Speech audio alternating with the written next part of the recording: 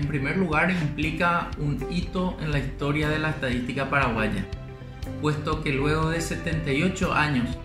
de que el Paraguay tenga una Dirección General de Estadísticas, Encuestas y Censos encargada de la medición oficial de la estadística, en el año 2020 se ha marcado un hito. A partir de la presentación por parte del Poder Ejecutivo al Poder Legislativo de un proyecto de ley de modernización del Sistema Estadístico Nacional y la creación del Instituto Nacional de Estadística. Esta normativa es el resultado de la ley genérica planteada en el seno de la Conferencia de Estadística de las Américas, la CEPAL,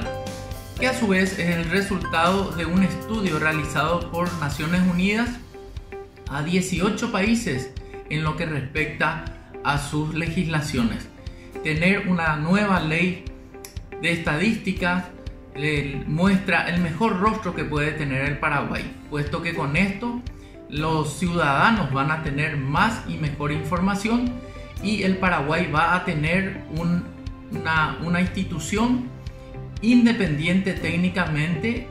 autónoma y autárquica, encargada de la rectoría de las estadísticas nacionales.